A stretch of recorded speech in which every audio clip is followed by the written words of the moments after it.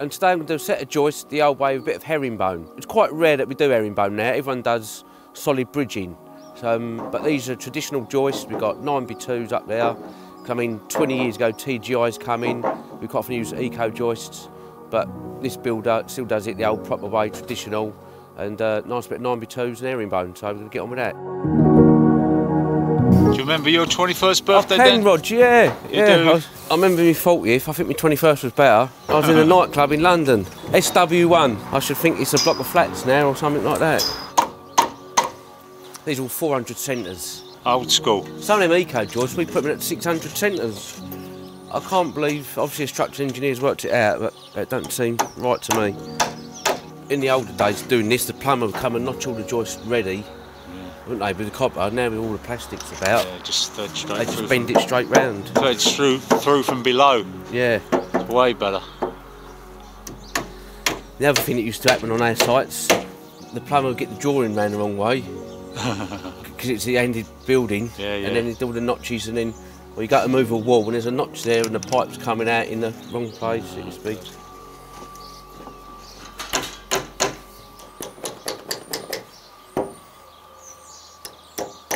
First one 50 mil off the wall, so you got any services or anything, you've got a bit of room now.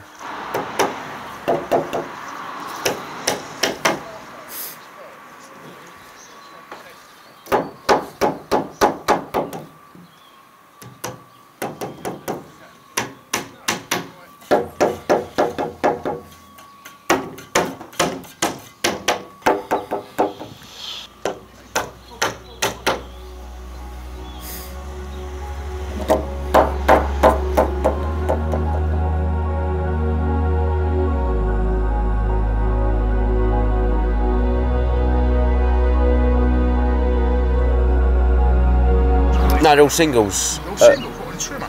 There's a treble, that trimmer. It's a three Yeah, ply. treble, but won't, won't you have like something? That's, That's, that's the thingy. yeah, they're they're all singles going out that way. Ah, right. okay. Yeah. Oh, of course, you're going to walk shows on that. Yeah, you? yeah.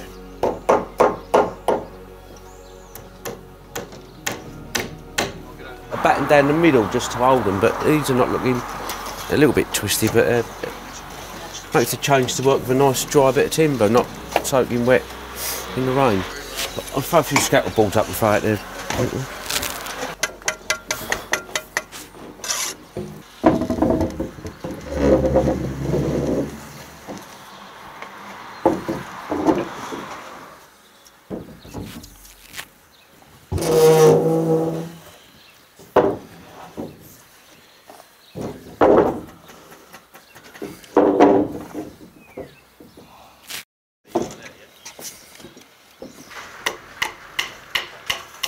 I'm just about to ping a line straight down the middle of all the joist. The old chop line.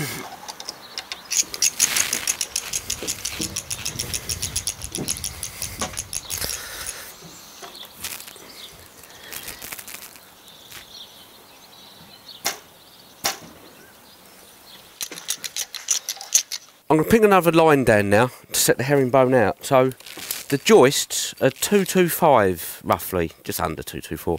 So I'm going to knock a little bit off. So I'm going to ping the line uh, about 215. I think I'm going to do it. 215.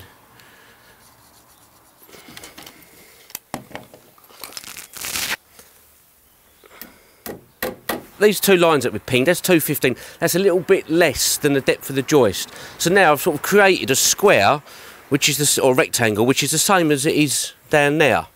That's the same sort of rectangle. Then all we simply do is lay our boning on there, and we go from that point there to that point there, and just draw it underneath. Now, when I first started, we didn't have the power tools to um, get the chop saw out and just cut them. We all cut them by hand. Oh, I've got a big knot in that one. Let's turn that round. So I want to cut a few by hand. That's it there.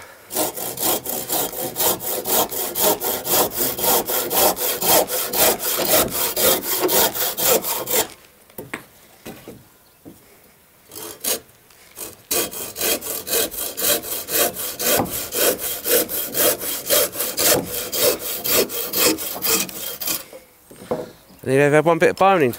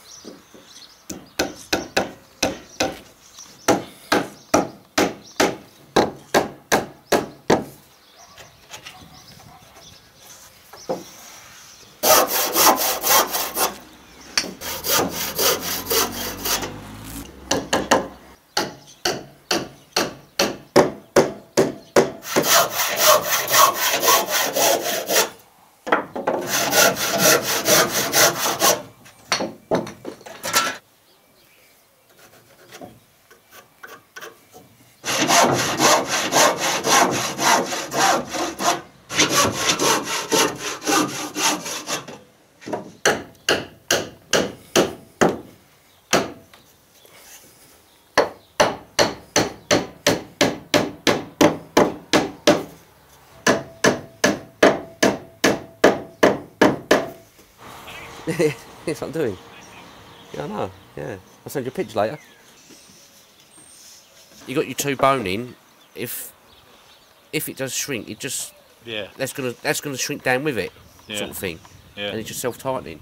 But it's, as you say, like any suspension bridges and everything, it's all Yeah. all work. Dartford Yeah. Bridge has got all the wires Yeah. for tension, so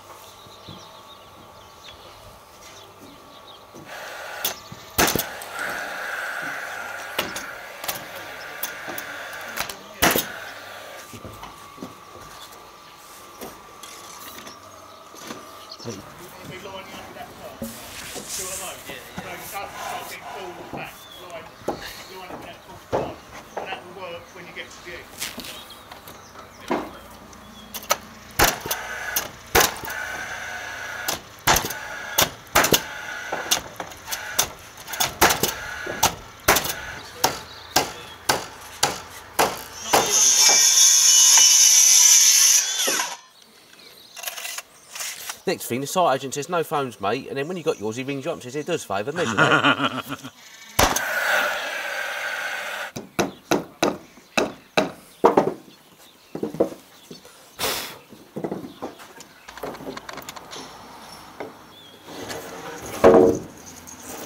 Because one of them like locked the door, Yeah, don't know if w- it's went to the site agent. he's a big site. Yeah. Went to the site, come back, and someone nicked some of his tools. Yeah, yeah. Daylight.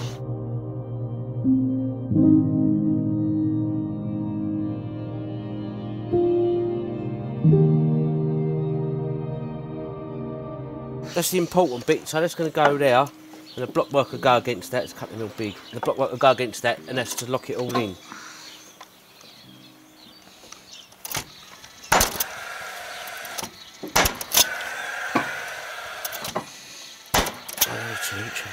It going to lock up tonight.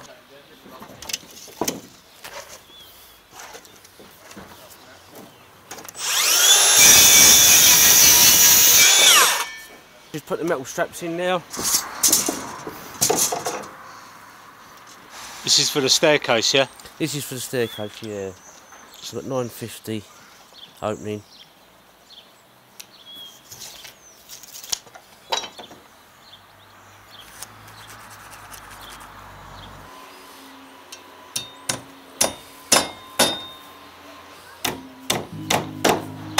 So I scaled it off, it was about 900, so give it a bit more.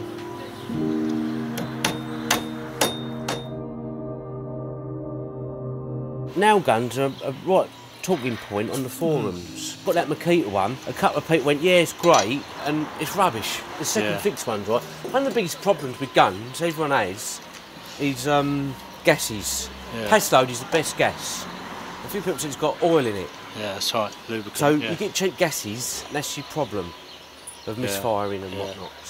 Well, I talked to the guys at Paslode, and they said to me when they take a gun apart They know everything. for service, they can tell what gas was used Yep. in it. And also they know how many bullets Yeah, fired. that's right. Yeah.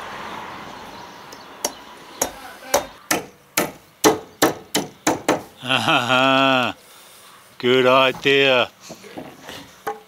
We should have the shoes on, but Well, yeah, you will do one day. yeah, not today.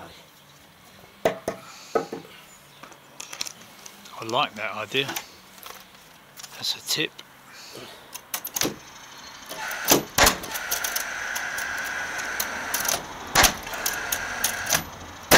Looks like a good day's work anyway, doesn't Yeah, it? yeah. So got a few more joists to pop in now. Um, we've got the metal straps to go in. We'll let them in. That's solid noggings under them.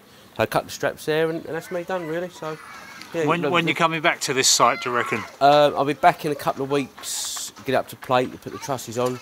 Um, Oh, trusses on this one. trusses on this one, yeah. So I'll be doing the trusses and doing all the roof. Okay, you going to do the second fix here or not? I'm not sure if I can fill it in. So I'll Too wait busy? see. Yeah. So I'll be back on the other job by then. Might have to let somebody else So, do but that. once he's got the roof on, he's quite happy. Like Kelly do all the flooring, stud work. Yeah. It'd just be the second fixing and kitchen. So if I can fit it in, I'll come and do it. But Mm-hmm. just depends how we go. Okay, mate. Nice to see you again. Andrew, Roger, thank you ever so much. Cheers. All Bye. the best. Cheers, Bye.